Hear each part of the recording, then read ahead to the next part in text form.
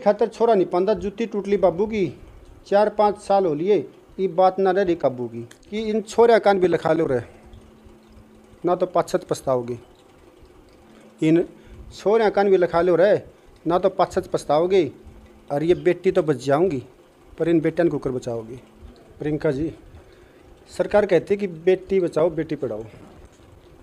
सरकार का स्लोगन है ये। मगर मैं कहता हूँ कि बेटा बचाओ, बेटियाँ अपने आप बच जाएँगी।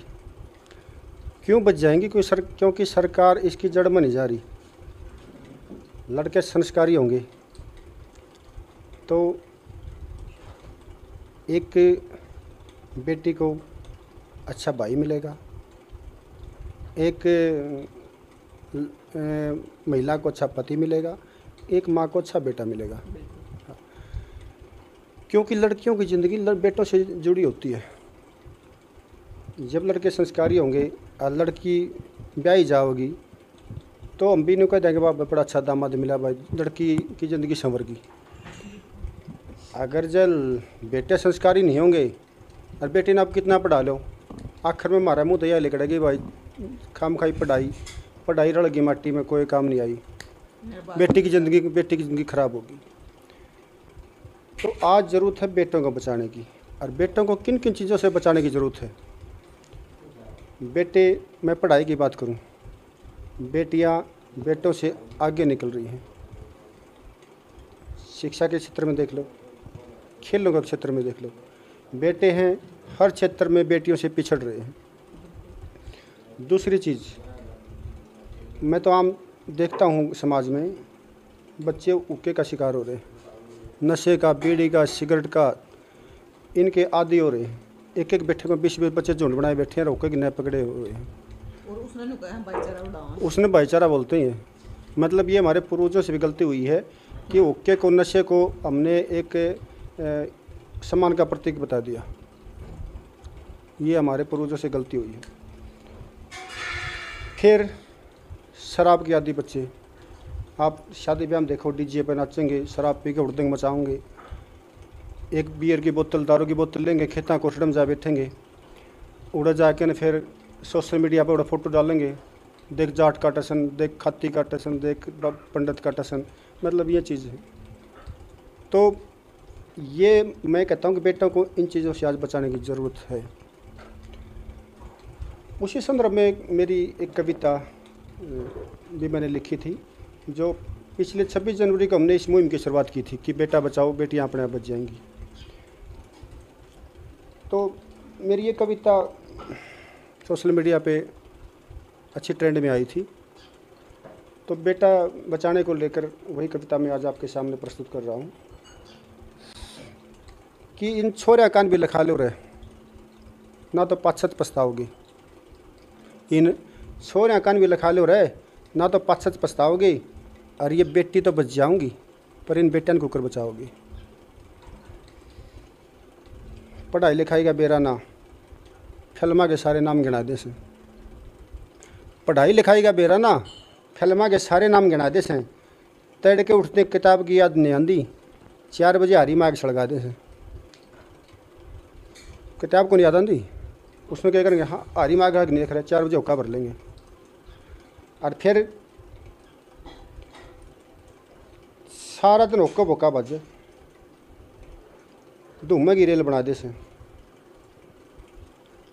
कि पढ़ाई लिखाई का बेरा ना, फिल्मा के सारे नाम गिना दे से तड़के उठने किताब की याद नहीं आती चार बजे हारी माग सड़गा दे से सारा दिन होका बोका बज धूमे की रेल बना दे से और दूध घी के स्वाद का चाहे बेरा ना हो, पर तम्बाकू का स्वाद बता दे से न्यू बता देंगे तम्बाकू कड़वा बढ़िया है भाई तम्बाकू मीठा है। तम्बाकू का स्वाद इनका ये याद हो रहा है। कि दूध घी का स्वाद का चाहे बेरा ना हो, पर तम्बाकू का स्वाद बता दे से एक जना तो न्यू बोलिया, खा पी के मरना सड़क के लेके जाओगे। एक जना तो न्यू बोलिया, खा पी के मरना सड़क के लेके जाओगे। अरे ये बेटी तो बच जाऊँगी, पर इन बेटा को कर बचाओगे? इन छोरा कान भी लिखा लो रहे, ना तो पाछत पछताओगे। इस हरियाणा में सब तक घनिया दारू पा फैलाने लगी। दारू का इतना ट्रेंड हो रहा है, पूछो ना। मतलब कोई छिदा परिवार परिवार तो नहीं बच रहा, कोई आदमी बस बच रहा हो। इक्का दुक्का। नहीं तो मैक्सिमम आदमी लेके सोए हैं। को थोड़ी, को ज़्यादा, को गाल में पड़ा पावा है। कि इस हरियाणा में सब तक गणिया दारू पा फैलाने लगी। दूध घी की जगह, हर घर में जगाधरी की बोतल पाने लगी। पिछले दिनों पंजाब में एक मूवी बनी थी उड़ता पंजाब, नशे को लेकर। हेरोइन कोकिंग बड़ा नशा उड़ा वहाँ का जो जनरेशन थी ना, वो बिल्कुल बर्बादी का गार पर होगी, वहाँ का युवा। अगर दारू पर रोकथाम न लगी, शराब पर रोकथाम नाम लगी, नहीं लगी तो हरियाणा भी उसी कगार पर जाने को है। इस हरियाणा में सब तक घनिया दारू पा फैलावन लगी, दूध घी की जगह हर घर में जगाधरी की बोतल पावन लगी, घर ते घर की आधी तो घनी कमाई तो ठेक जाने लगी। मर्द मानस पिए पड़ा रहे गाड़ में घर ने लुगाई चलावन लगी। समाज में काम बटे हुए हैं। आदमी ये काम करेगा, लेडीज़ काम करेगी। आदमी के बारे में मैं कहूँगा, आदमी गैर जिम्मेदार ज़्यादा हो रहे आजकल। स्त्री की अपेक्षा। स्त्री तो वहीं खड़ी है। लेकिन आदमी गैर जिम्मे, गैर जिम्मेदार क्यों है? शराब पीवा है। गाड़ा में पड़ा रहा है। फिर के जब काशन बासन सब के बेकण की स्थिति में आओ है। फिर भूखे, बालक भूखे मरने की नौबत आ जाओ है। फिर लुगाई नहीं सोचा ही तो गाड़ में पी चौबीस घंटे पीड़ा पड़े रहे बड़कन कुकर भूखी देखूँगी। फिर वह बच्चों का पेट भरने के लिए बाहर निकलती घर से। फिर के समाज उस पर उंगली उठाओ है बाहर जाओ है या न्यू जाओ है या न्यू जाओ है? जब वो गाड़ में पिए पड़ा रहे, जब समाज नहीं कहता कि भाई यूँ क्यों पड़ा, पिए पड़ा रहा तुम अपनी जिम्मेवारी ने बाबा क्यों बैग लिया था, क्यों कर था, आज बच्चा पेट भर दूँ, तेरी जिम्मेवारी है। लेकिन जब उसी जिम्मेवारी को पकड़ने के लिए, निभाने के लिए स्त्री घर से बाहर निकलती है तो उसे हज़ार तानों का सामना करना पड़ता है समाज का। ये विडम्बना की बात है समाज का एक सच्चाई बात मैं कह रहा हूँ आपको, एक आईना बता रहा हूँ समाज का। कि इस हरियाणा में शब्द घनी या दारू पा फैलावन लगी, दूध घी की जगह, हर घर में जगाधरी की बोतल पावन लगी। घर की आदि तक घनी कमाई तो ठेके बजावन लगी, और मर्द मानस पिए पड़ा रहे गाल में घर ने लुगाई चलावन लगी। अच्छी पढ़ी लिखी छोरी खातर टक्कर का दामाद कड़े तो लियाओगे। क्यों? लड़के तो पिछड़ रहे हैं, लड़की पढ़ाई में आगे जा रही है। पढ़ाई का संतुलन नहीं हो पा रहा। ये पढ़ाई का संतुलन नहीं होगा तो रिश्ता करता तो वो पढ़ाई का सारी चीज़ देखा आदमी। तो वो टक्कर की, टक्कर का मिले नहीं गा। क्योंकि भी आप देख लो समाज में मैं देखूँ, अगर किसी का छोरी बयान की हो जाए ना को तो बाबू ने कहोगा, भाई मेरी छोरी का तो छोरा बता दे, पाँच साल हो गए देखे खंदन को ने कहोगा, चार साल हो गए देखे खंदन को दो साल का होगा छोरा नहीं पाता टक्कर का। लड़की घनी पड़ गई, छोरे लड़के पीछे रह गए। कि अच्छी पढ़ी लिखी छोरी खातर टक्कर का दामाद कड़े तो ले आओगे और ये बेटी तो बच जाऊँगी, पर इन बेटियान के ऊपर बचाओगे। इन छोरा कान भी लिखा ले रहना तो पास पछताओगे।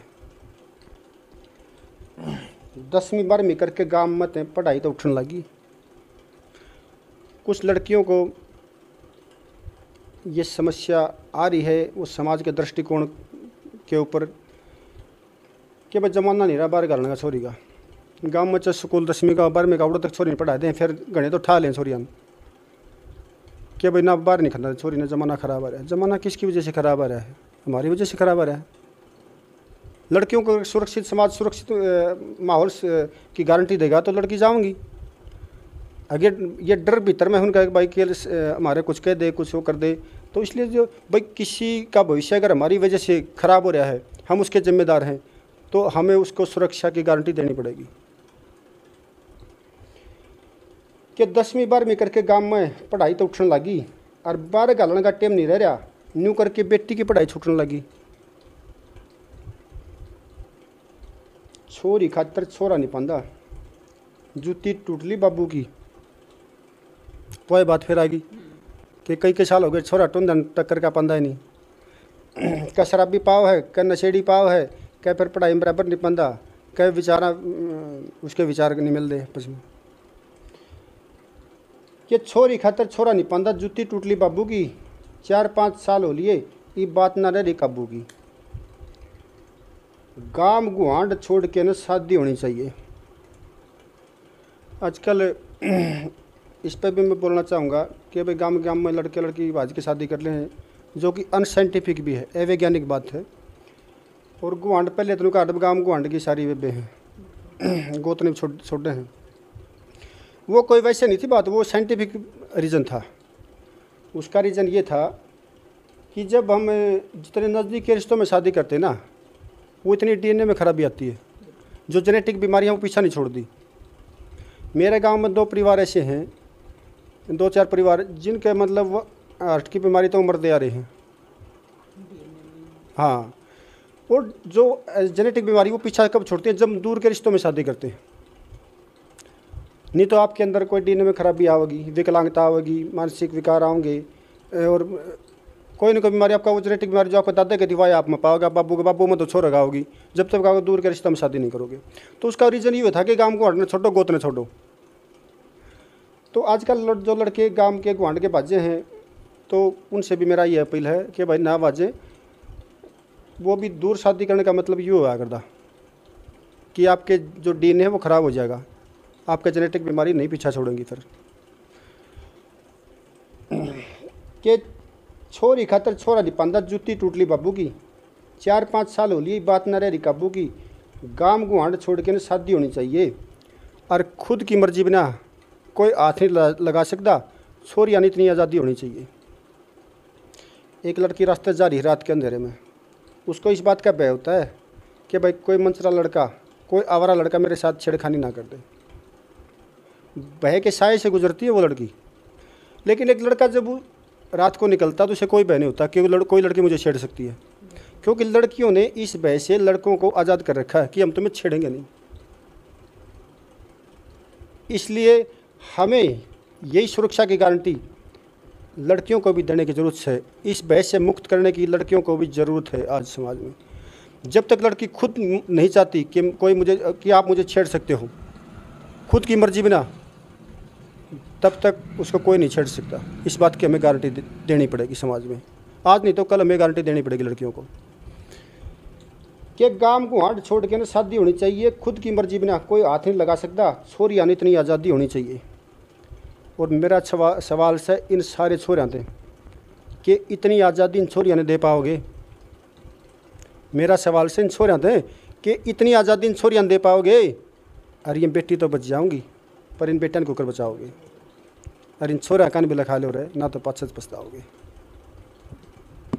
सरपंच साहब जिस प्रकार तो मतलब बेटी अगर ग्यारह बारह बजे आवा है कोई काम है या फिर पढ़ाई पे है तो उस पर तो हम पूछ लेंगे इतनी कड़ा है। हम्म। लेकिन बेटा चाहे कितने बजे आओ? देखिए, जो बेटियाँ हैं ना, वो अपनी क्या के बंधन का भी सदुपयोग कर रही हैं। मतलब कि समाज में ना लड़कियों पे, बेटियों पे ज़्यादा बंधन है। हमारी जो व्यवस्था है, वो भी बेटियों को मतलब बेटियों को पाबंद रखने, रखती है। उन पे नियम ज़्यादा हैं। बेटियाँ फिर भी अपनी गुलामी का, अपने बंधनों का सदुपयोग कर रही हैं, हर क्षेत्र में आगे बढ़ रही हैं। लड़के अपनी आज़ादी पे, आज़ादी का भी दुरुपयोग कर रहे हैं। हर चीज़ में पिछड़ रहे हैं। तो इसलिए असंतुलन हो रहा है समाज में।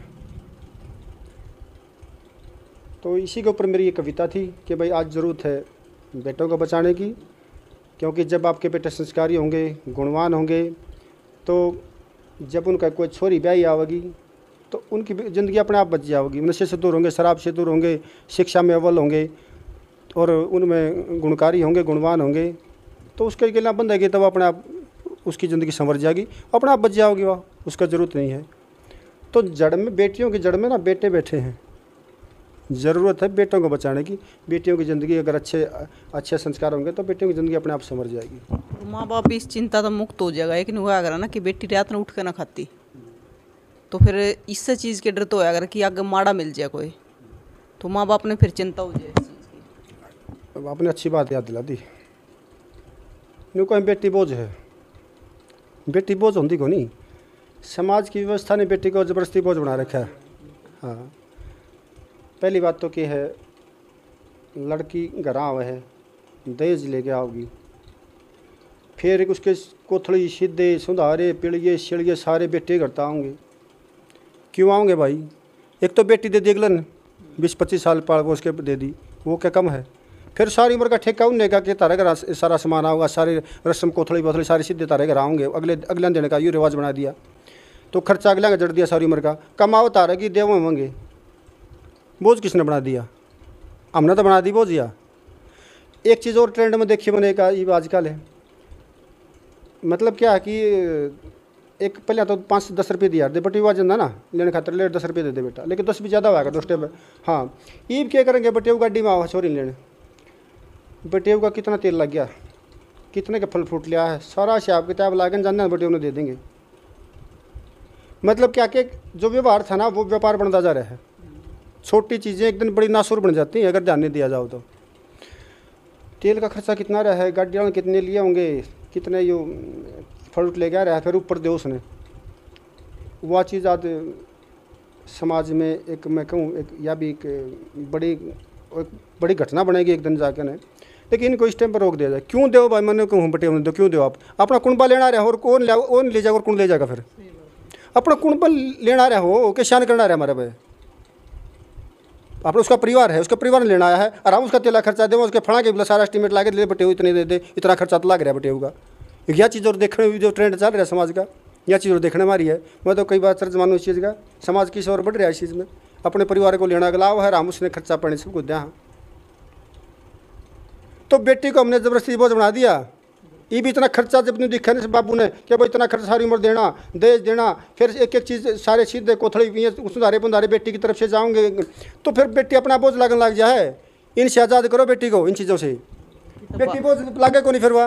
बेटा के बराबर आ जाएगी। कित पीलिया कित बात कित छुच्छक एक बात कोथड़ी सुधारे फिर ये सारी उम्र के लेने देने की संक्रांत आ गया आज त्योहार आ गए सोरी आलन पचानी सोरी आलन पचानी पचाने पचाने भी नहीं अगर ना पचाओ और थोड़ा दे तो फिर ऊ तोड़ तोड़ मार। समाज छोड़ो से पड़ोसी तारी नहीं कोथड़ी तारा नहीं आया सुधारा तारा नहीं फलाना आया।